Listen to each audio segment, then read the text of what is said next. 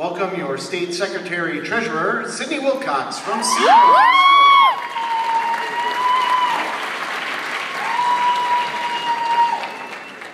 Wisconsin FBLA, your new 2014-2015 Vice President is Molly Burgum from Superior High School.